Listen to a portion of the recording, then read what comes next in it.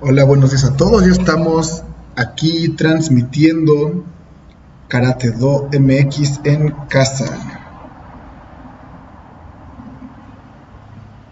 Aquí ya estamos transmitiendo Karate Do MX en casa. Este es el blog número 12. Vamos a hablar sobre el Sasen y el Karate Do. Ok, vamos a ver.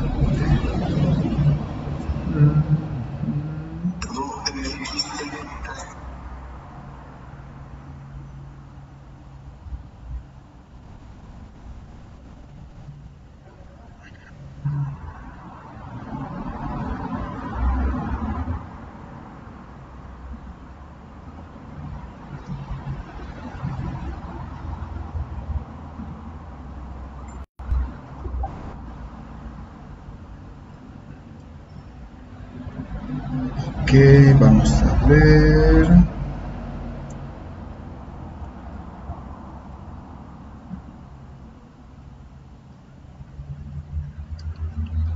Vamos a Ya tenemos a alguien en línea. ¿Quién será? Bueno, vamos a poner esto de una vez a todos los grupos de WhatsApp de mis alumnos. Y después vamos a empezar a transmitir por Instagram por si algunos nos quieren ver por ahí. Está en avanzados. En precarate, en principiantes. A o él y nos falta adultos. Listo. Ya está también Néstor en línea. Muy bien. Y estamos a punto de transmitir por Instagram también. Listo.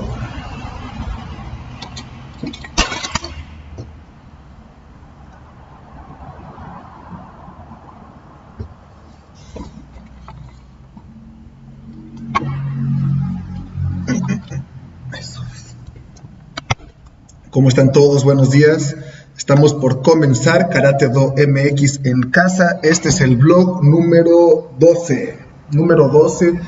Ya llevamos algunos días aquí en aislamiento, pero todo bien. Las clases en línea las estamos dando y están bastante cómodas. Ahí, si quieres información, pues avísame.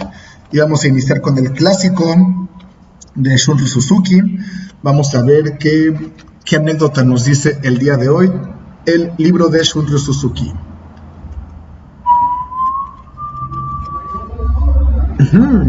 Vamos a ver. este está bueno. Página número 76. Un alumno le preguntó a Suzuki Roshi por qué los japoneses hacían tazas de té tan delgadas y delicadas que se rompían fácilmente. No es que sean muy delicadas, respondió el maestro, sino que no sabes cómo tratarlas. Eres tú el que debe adaptarse al medio y no al revés.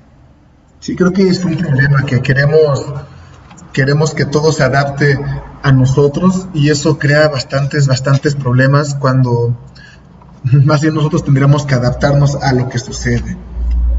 Bien. Y vamos a regresar a este libro que, del que tratamos ayer, de Taisen de Shimaru, la práctica del Zen, que les prometí que íbamos a ver cómo era la, la práctica correcta del Sasen, cómo, cómo, cómo se practica el Zen de estar sentados, la meditación sentada del Zen. Aquí nos va a dar muchísimos tips y sobre todo de un, monje, un maestro de de veras pero encontré una historia de, un samurái que me, que me gustó mucho y que espero que te ponga a pensar, que te, que te ponga... Oh, dicen que no abre. A ver, vamos a intentarlo otra vez.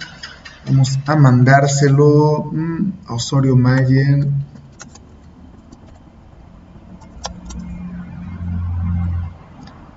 Busca en mi perfil, a ver si lo puedes ver. Vamos a esperar un momentito a que, a que lleguen. Pero sí, aquí hay una historia bastante interesante sobre, sobre un samurái arrepentido y espero que les vaya a gustar. Pero el tema les recuerdo que es el sasen y el karate. Sa en japonés a los alumnos de karate les parecerá tal vez lo podrán reconocer un poquito. Sa tal vez les, les recuerde a Seiza. Seiza. La manera correcta de sentarnos. Seiza. Sa. En este caso, sa tiene que ver con la acción de estar, o con, sí, con el verbo de estar sentado. Seiza. Sa. Y el sa, zen, tiene que ver con el zen, con la meditación de estar sentados. Sasen. Entonces vamos a aprender el día de hoy el, cómo estar sentados en estado de meditación. Pero, eh, ¿qué relación tiene esto con el karate? Para empezar, al iniciar las clases es muy común en Japón y en Okinawa comenzar con esta indicación de Seiza, nos sentamos con la espalda derecha, luego se dice la palabra Mokuso, que sería algo así como silencio interno, Mokuso, y en ese momento cerramos ojos y respiramos tranquilamente. Después se dice Moksuyame, que es como termina el moxo, termina la, el silencio interno. Vamos, o, bueno, poner atención y siguen los diferentes agradecimientos. Hay quienes agradecen a los maestros del pasado, hay quienes agradecen al maestro en turno, hay quienes agradecen a, dioses, hay quienes agradecen a algo sagrado en mi dojo en especial hacemos tres agradecimientos. Uno lo hacemos hacia el shomen, en este caso es el que está atrás de mí, que es a los maestros, pero yo les digo a mis alumnos que realmente no es, no es exactamente a eso que está ahí atrás, sino que es a algo sagrado en lo que ellos crean, la naturaleza, eh, Jesús, eh, Dios, em, no sé, Buda, Krishna, Mahoma, no importa, es algo, o, algo sagrado en lo que tú creas. El segundo agradecimiento lo hacemos hacia los maestros y un maestro, lo hacemos hacia un maestro simbólico. En Japón obviamente se hace al sensei, al sensei en turno, el que está dando la clase. Eh, también es muy común hacerlo así en, en Occidente, que se le hace la, eh, reverencia hacia el maestro. En mi caso, eh, en nuestro dojo lo hacemos hacia un maestro simbólico, que en este caso es hacia donde nace el sol, ¿no? Que hacemos una reverencia hacia oriente. Y, bueno, que para mí, bueno, yo que le explico a los alumnos que ese agradecimiento a oriente es un agradecimiento a todos los maestros en general, todos los maestros que tenemos y que vamos a tener. Y el tercer agradecimiento lo hacemos a Otagaini, que es entre nosotros, entre los que estamos entrenando en ese preciso instante. Bien, no sé en tu dojo a agradecen, o si hacen el seis al moxo, se le llama Reishiki. No sé si en tu dojo hagan Reishiki. bueno, entonces este, eh, este ejercicio al principio, y por cierto que también se debería de hacer al final de la clase, es, eh, em, Jesse Enkamp lo, lo, compara como con poner un, una barrera entre el, día, entre el día a día y el entrenamiento de karate. Es como, como desprogramarnos de, la, de lo que está fuera del dojo y programarnos para iniciar nuestra clase de karate. Yo le explico a los alumnos que en mi caso, para, para mí la interpretación es es em, como si nuestras cabezotas o nosotros fuéramos, ah, hola Mario, ¿cómo estás? Vi que diste clase en la mañana de yoga. Hola Jorge, también ya está llegando, la señora Ofe, claro que sí, espero que les guste la ponencia, pero sí les explicaba que de mi parte cuando hacemos la meditación al inicio de la clase, el, el Seiza y el Moxo, para mí es como si nuestras antenas, nuestros nuestros sintonizadores, no sé, no sé si lo, si lo, puedan em, imaginar de esa manera, como sintonizarnos en el, en la idea del entrenamiento de karate. Entonces, eh, es como poner todos, entonarnos en la misma, ponernos en la misma sintonía. Eh, para los más jóvenes que no conocieron las radios, pues sería como ponernos en el mismo canal, o si tampoco saben ya utilizar las televisiones, es como poner la misma transmisión para que todos estemos en, la, que estemos pensando exactamente en lo mismo que sería entrenar karate para hacernos mejores personas. Que por cierto, eh, el onegaismas, onegaismas me estaba diciendo mi maestra de japonés que significa algo parecido a te pido que me ayudes a mejorar. Entonces, el onegaismas, inicialmente yo le explicaba a los alumnos que era gracias por lo que me vas a enseñar, y para mí era suficiente. Pero cuando mi maestra de, japonés me dice, no, es, es más bien como, como pedir, como, sí, como ayúdame a ser mejor. Y dije, wow, está, es un poquito más profundo de lo que pensaba ese onegaismas. Pero bueno, ya que están ahora sí en línea, vamos a leer esta historia de, del samurái. Se llama la historia... Sí, como un gato, miau historia de Miau. Vean, a ver si le alcanzan a ver aquí los de Instagram, historia de Miau. Aquí los de Facebook, historia de Miau. Vamos a ver esto. Un samurái feroz guerrero pescaba apaciblemente a la orilla de un río. Pescó un pez y se disponía a cocinarlo, cuando un gato oculto bajo una mata dio un salto y le robó su presa. Al darse cuenta, el samurái se enfureció, sacó su espada y de un golpe partió al gato en dos. Este guerrero era un budista ferviente y el remordimiento de haber matado a un ser vivo no lo dejaba luego vivir en paz. Eh, sí, mató al gato y ya no estaba tranquilo por lo que había hecho. Al entrar en su casa, el susurro del viento en los árboles murmuraba Mau. Las personas con, las que se cruzaba parecían decirle también. La mirada de los niños reflejaba maullidos. Cuando se acercaba, sus amigos maullaban sin cesar. Todos los lugares y las circunstancias proferían miaus alucinantes. De noche no soñaba más que con maullidos, miaus. De día cada sonido, pensamiento o acto de su vida se transformaban en un miau. Él mismo se había convertido en un maullido. Su estado no hacía más que empeorar. La obsesión le perseguía, le torturaba sin tregua ni descanso. No pudiendo acabar con los maullidos, fue al templo a pedir consejo a un maestro zen. Por favor, te lo suplico, ayúdame a liberarme. El maestro respondió, eres un guerrero. ¿Cómo has podido llegar tan bajo? Si no puedes vencer por ti mismo a los miaus, mereces la muerte. Se preparó para la ceremonia.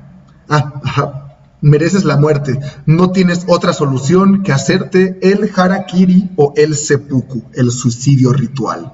Aquí y ahora. Y añadió, sin embargo, soy monje y tengo piedad de ti. Cuando comiences a abrirte el vientre, te cortaré la cabeza con mi sable para abreviar tus sufrimientos. Estos japoneses siempre tan compasivos, ¿verdad? Para que no sufran, pues los matan. El samurái accedió y a pesar de su miedo a la muerte, se, prepara, se preparó para la ceremonia. Cuando todo estuvo dispuesto, se sentó sobre sus rodillas, tomó su puñal con ambas manos y lo orientó hacia su muerte. Se agarró su espada, que va a ser esta pluma, la agarró con sus dos manos y se iba a cortar el vientre en dos. Hay quienes lo hacían de manera horizontal, algunos en vertical.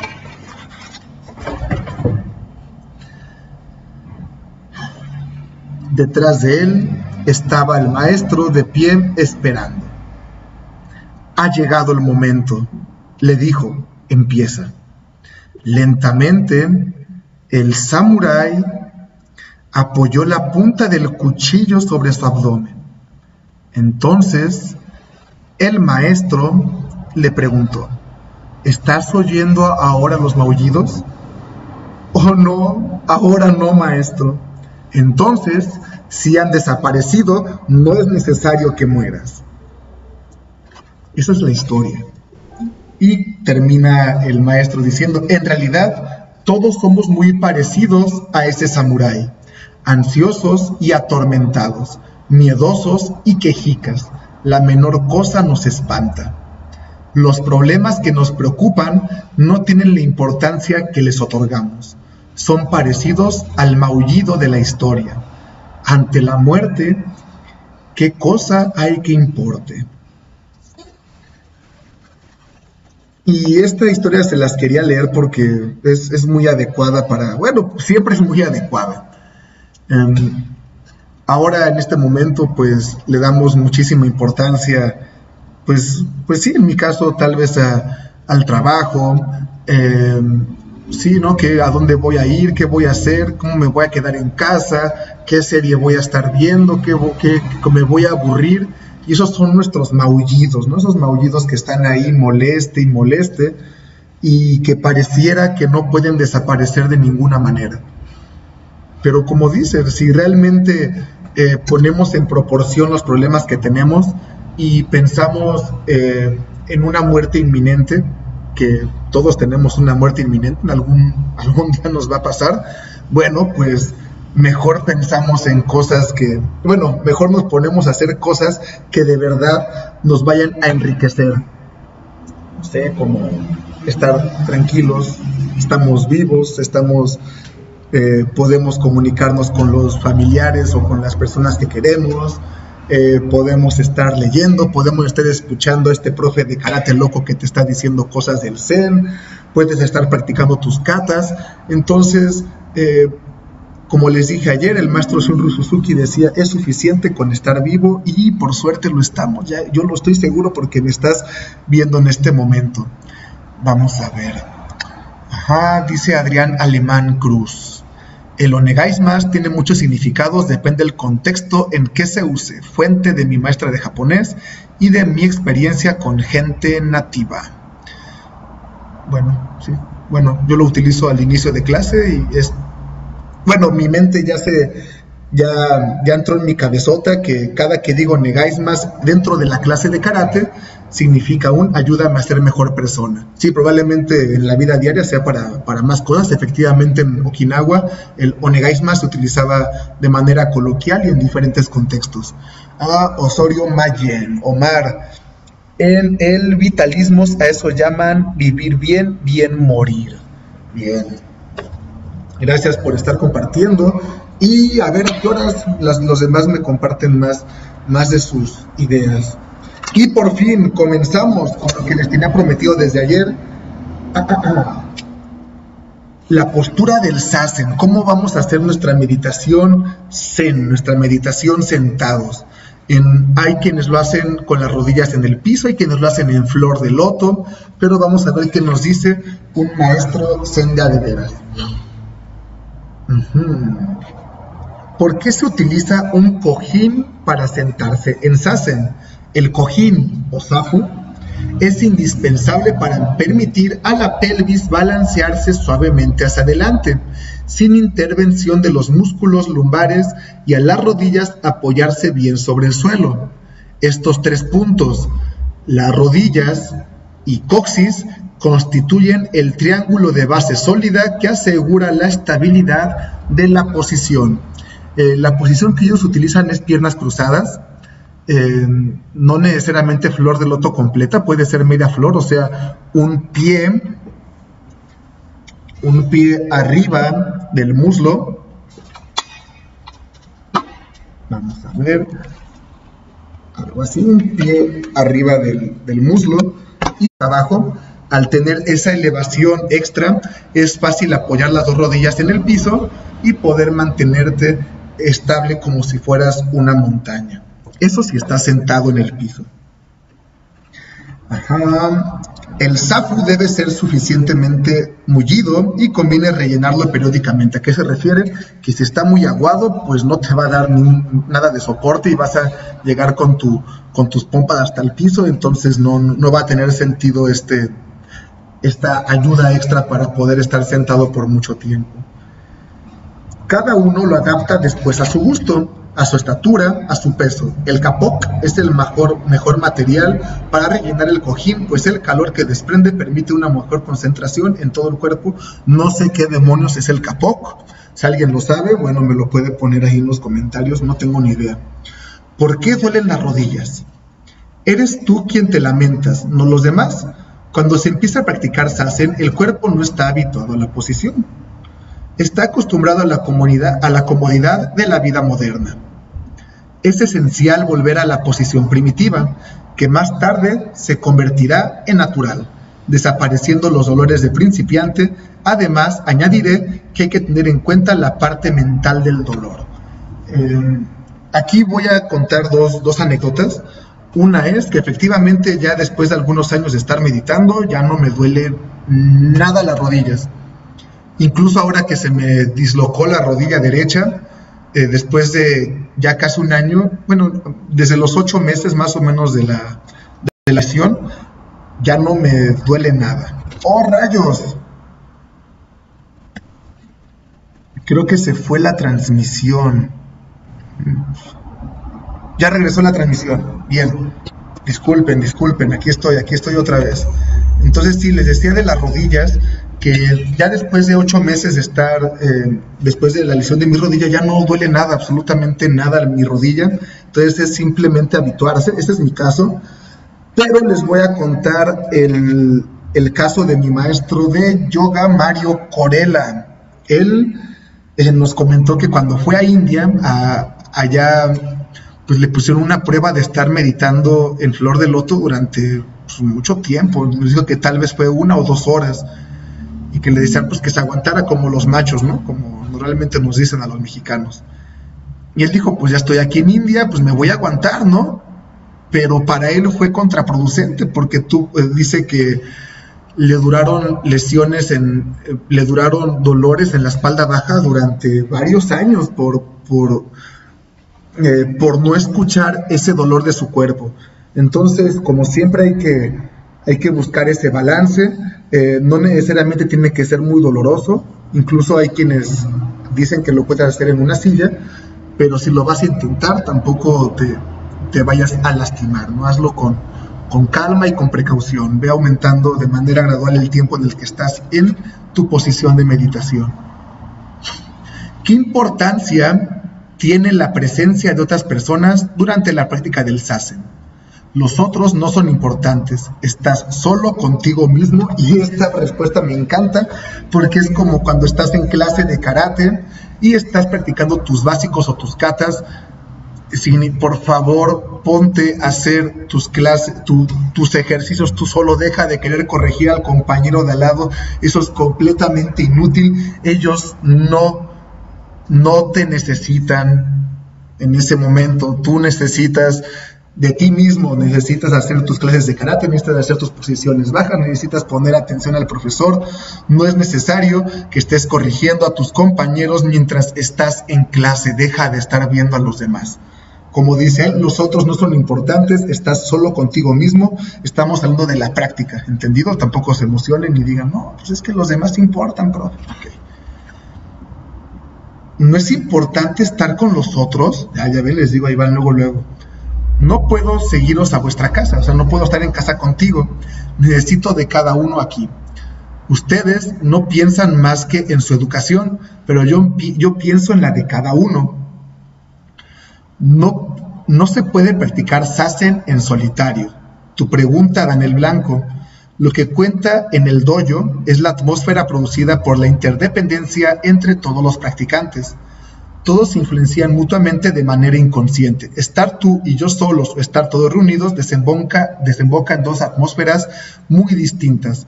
El fuego no arde igual según haya un solo leño o varios. Sobre todo, no es necesario pensar conscientemente. Doy y recibo influencias. Asimismo, tú las recibes y la das de manera inconsciente, natural. Mm, igual, regresando a la idea de la práctica de karate, eh, cuando estamos practicando karate es muy diferente, es de verdad muy, muy, muy diferente practicar karate en solitario a practicarlo en grupo. Y como dice no, no tienes que hacer nada para sentirlo, simplemente las sensaciones es muy diferente practicar con 40 compañeros, con 100 compañeros, con 300 compañeros, con 3 alumnos o tú solito, es, siempre es diferente pero al final eh, no tienes que hacer nada para, eh, para sentir eso, simplemente se siente. ¿no? Entonces, eh, tú, tú sigue haciéndolo y, ya, ¿no? No, ¿no? no, te preocupes por, por esas cosas tan, tal vez irrelevantes. Obviamente es diferente. Cuando se practica Sassen, ¿en qué dirección es mejor voltear? ¿Este o este, norte o sur? La respuesta Todas las direcciones son buenas, estar tranquilo es suficiente. Si es posible de cara a un muro o bien en plena naturaleza, sentado bajo un árbol, mas de este modo se está más solicitado por el exterior. Se corre mayor riesgo de dispersión. Cuando estés habituado dentro de 5 o 10 años, harás sasen en cualquier lugar. Si al principio siempre vas a escuchar o vas a ver recomendaciones de poner un incienso, de, poner música tranquila, de acomodar un lugar completamente eh, para, bueno, hecho exclusivamente para la meditación, poner imágenes que te, que te remitan a estar en una, estar tranquilos, pero eso es como las rueditas de la bicicleta de los niños. Sí sirven al principio, pero después hay que quitarlas después hay que quitarlas para poder empezar a tener una práctica más, más seria y, más gratificante. Yo te aseguro que los niños cuando le quitan, bueno, yo me acuerdo cuando le quitaron, cuando, bueno, cuando empecé a estar en bicicleta sin ayuda de nada, fue wow, es lo mismo. Ajá, dice Lisette. Antes de seguir, ¿eh? porque esto sigue, sigue todavía. ¿Qué puedo hacer para que mi sobrino deje de estar tirando patadas? Lo estamos viendo en la televisión de la sala y está muy atento. Mándele saludos, se llama Rubén. Hola Rubén, pues no dejes de dar patadas, pero nada más no patees a nadie. Patea al aire y diviértete mucho, pero sin molestar a nadie más. Lo siento, Lizeth, yo creo que no ayudé mucho en que dejara de patear, pero deja, no, ni patees perros tampoco, o sea, tú patea al aire lo que quieras si te pueden comprar una almohada para que patees mejor, pero eh, deja tranquilos a todos los demás. Recuerda que nuestra práctica es para nosotros, no para molestar a los demás. ¿Sale? Entonces, seguimos con Rubén. Qué bien que nos están viendo en la tele. Ah, ah, ah. ah cierto, aquí estaba la pregunta, ¿no? De este oeste, norte o sur. Pues eso no importa, tú practica y hazlo con todas tus ganas y efectivamente al principio va a ser necesario que tengas esas ayudas, después no. Otra pregunta, ¿es difícil mantener la mirada fija a un metro de distancia?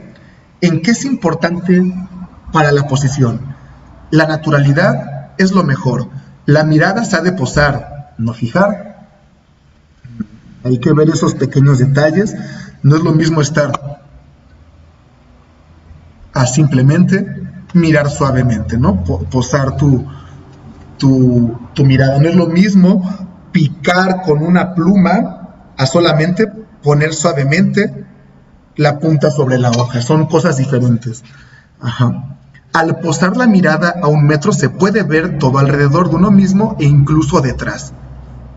Bueno, no, no, no he llegado a ese punto, pero bueno, hay que intentarlo, ¿no? Él es un maestro zen. En la esgrima japonesa, o sea, en el kendo, en el iaido, en la espada japonesa, si la mirada se distrae, incurrimos en torpeza. La posición de los ojos es muy importante y muy delicada. Al principio de la meditación te vas a dar cuenta que vas a estar moviendo tus, tus ojos para todos lados, aunque sean movimientos muy pequeños, casi, casi imperceptibles. Es de las cosas más difíciles de controlar en tu meditación, pero, pero se puede y se siente muy diferente. Si es una calma y una tranquilidad muy diferente el poder posar tu mirada tranquilamente en un punto. Ajá. Vamos a ver. Oh, rayos, nos faltan todavía bastantes páginas. Yo creo que mi esposa me va a pegar, pero, pero no le diga. Un poquito más, un poquito más, 10 minutos más. Es más, pongan si quieren que sigamos con las preguntas hasta el final. Me concentro mejor con los ojos cerrados. ¿Es necesario, necesario tenerlos abiertos? Y el maestro, buena pregunta. Lo vengo estudiando desde que estoy en Europa. Los orientales son diferentes de los occidentales o sea, los japoneses de los mexicanos en este caso. Aunque las condiciones que impone la vida moderna tiendan a asemejarlos. La naturaleza oriental es más reposada, mientras que la occidental es algo más nerviosa y agitada. Esta idiosincrasia se refleja a la hora de practicar sasen. El oriental dormita, o sea, está casi casi durmiéndose, y el occidental se mantiene vigilante, aunque esté en meditación.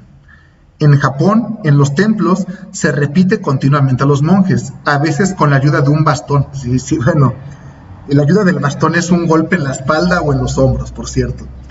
No debéis cerrar los ojos. Aquí en Europa comprendo que a menudo sea necesario cerrar los ojos durante el sasen. Si tienes dificultades para concentrarte, ten cuidado con lo que comes y bebes antes. Una taza de té verde no produce el mismo efecto que una taza de café importantísimo, ¿eh? eso es muy interesante. Eh, eh, es, muy interesante esta, esta parte de que hay que cuidar lo que comemos antes de hacer sasen y también de que acá somos un poquito nerviositos, ¿verdad? Entonces, si te notas muy nervioso, muy, sí, sobre todo eso, muy nervioso o que estás súper atento, súper despierto durante la meditación, sientes que todo lo de afuera te está llamando para hacerlo, tal vez sea necesario un momento cerrar los ojos. Ya que tengas la capacidad de estar tranquilo sentado, te recomiendo abrir los ojos para que puedas ver todo lo que sucede. Ajá, ahora dice Rubén, dice mi sobrino que nos da una mini clase. Pues esta es una mini clase de cómo estar tranquilo, Rubén, pero eh, les voy a compartir un, enlace para que puedas hacer una clase en casa, una que grabé el día de ayer, se las, les paso el enlace en un momento que acabe la transmisión. Ahora dice Ofe, muy buena Sensei, si me permite, con respeto le comparto que al ser integrantes de Karate Do MX Santa Elena, Estado de México, hemos aprendido una excelente disciplina. Asimismo es una un estilo de vida, Agradecemos a los maestros, en especial al sensei Agustín Díaz Lozano, quien de forma profesional y humana ha caminado con nosotros por este maravilloso camino del karate. Más alumnos así, por favor. Qué bonito. Muchas gracias por, por respetar tanto a su profesor y créanme que eso lo, la va a llevar eh, a superarse de una manera súper veloz en el camino del karate. Cuando hay un respeto eh, honesto para el profesor, es muy, muy, muy, muy fácil avanzar. Muy fácil. Es una. Tiene una ventaja muy grande con todos los demás, señor Ofe. Ahora, ¿por qué se juntan las manos al saludar? La posición de las manos es muy importante. No se pueden disociar la actitud de las manos y la del espíritu. O sea, la, actitud de las manos tiene que ver con la actitud del espíritu. Cuando ves una persona muy nerviosa con las manos, por lo general también está muy agitada por dentro. La posición de Gasho, Gasho, la posición de Gasho expresa la unidad del pequeño yo y el gran yo, el individuo y la divinidad, el yo y la naturaleza de Buda, el ser y el cosmos. Además, es una actitud de concentración. Y simplemente pensemos en religión, que es religar, conectar, en yoga, unir, yu, unión, eh, pues sí, es unir, ¿no? Cuando oramos, pues estamos intentando unirnos o, que nuestro mensaje llegue directamente a, Dios en este caso, ¿no? Entonces nos unimos de cierta manera, este, uniendo nuestras manos.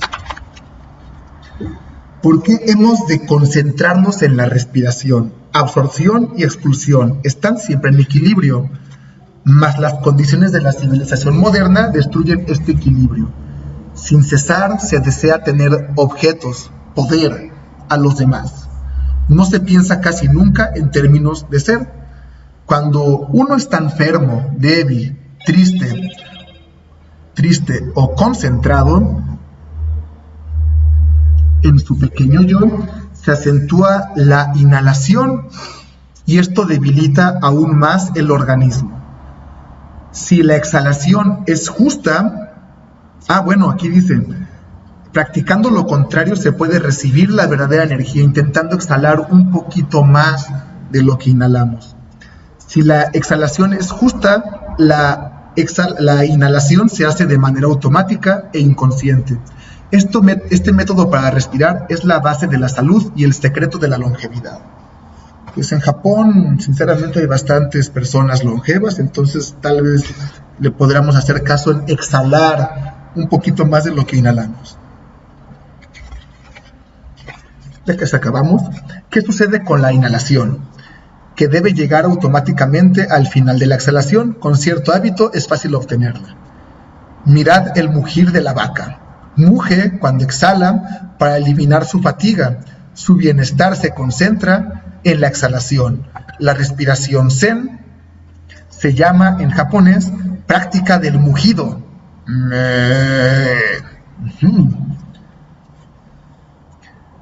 Ordinariamente solo se insiste en la inhalación y esto mengua la fuerza del cuerpo.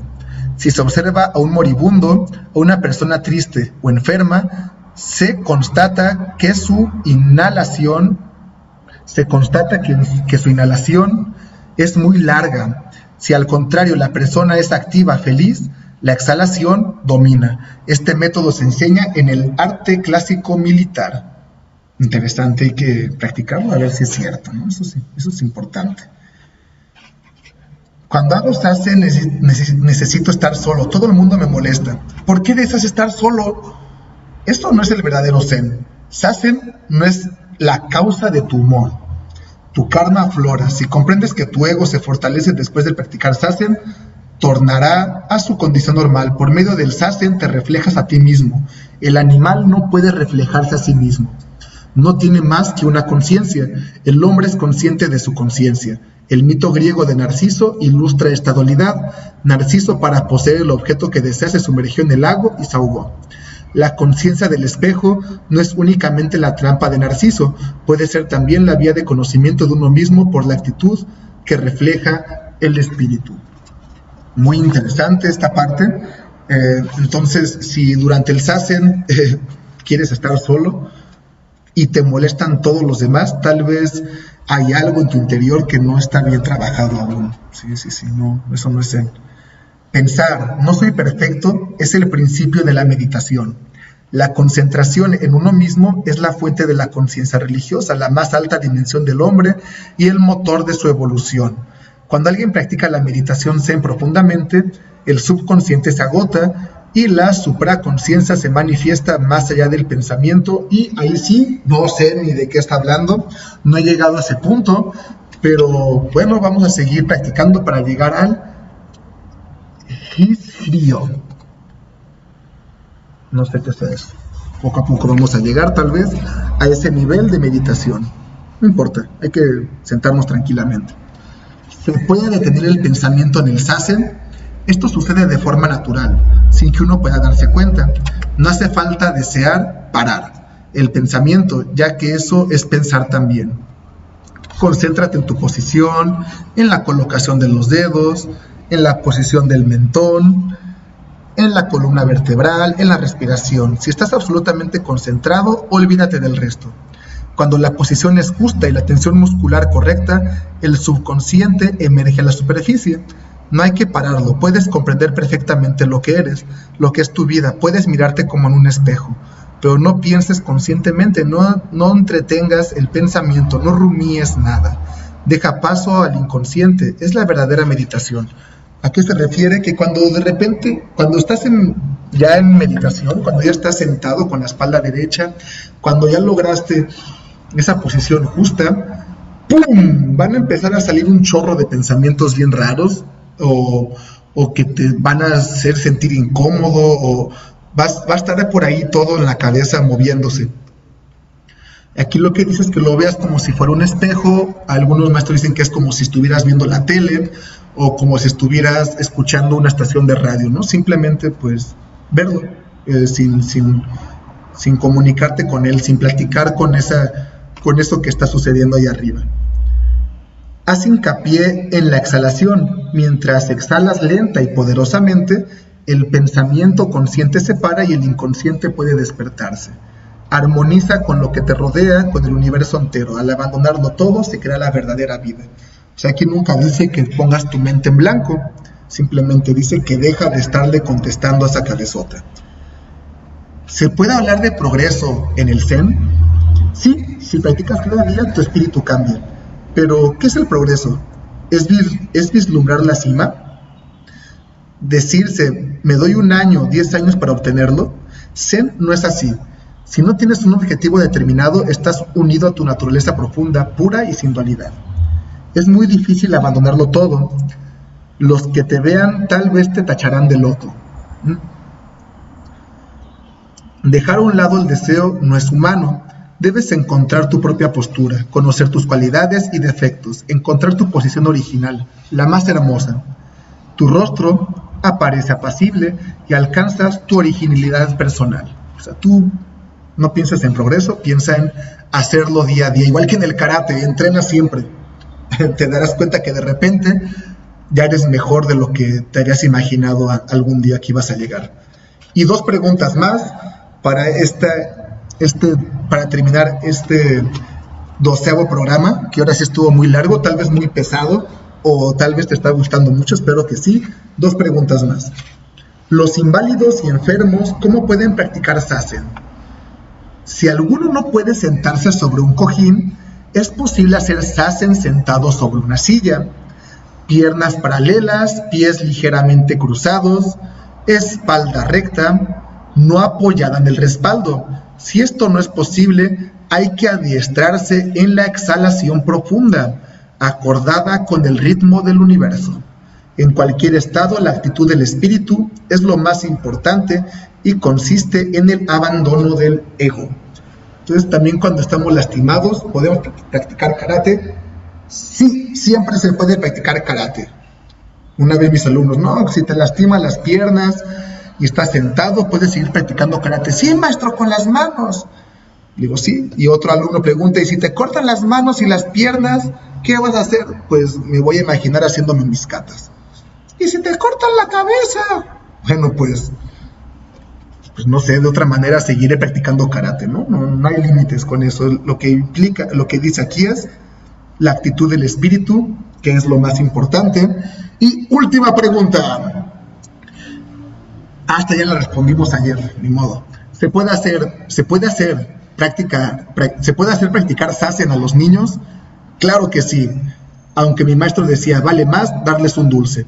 No hay que imponer la disciplina pero si practicas sasen profundamente, un niño puede venir a sentarse a tu lado, tranquilo él también, apacible, sin inquietudes. Si se queda así, concentrado durante 5 o 10 minutos, es suficiente. Entonces sí, sí, hay que practicar juntos. Yo practico con mi hija, mi hija se queda sentada 20 segundos, luego me pica los ojos y, como no hago nada, mejor se va a jugar. Entonces, eh, pues bueno, esta vez nos pasamos del tiempo límite que me había puesto de media hora, pero eh, está interesantísimo este libro, lo tenía guardado, gracias a esta cuarentena, gracias, qué bueno que lo pude redescubrir para poder compartirlo con ustedes, espero que les haya gustado. Sí, me estaban diciendo del tema del shodo, de la caligrafía japonesa, entonces mañana hablaremos de la caligrafía y el karate do. Eh, pues muchas gracias por acompañarme, muchas, muchas gracias. Y nos vemos el día de mañana, recuerden, a las 10 a.m. Y mm, sigan practicando, tomen mucha agua, lávense las manos, quédense en su casa, rásquense el ombligo, mediten mucho y practiquen también mucho. Nos vemos, que estén muy bien. Sayonara.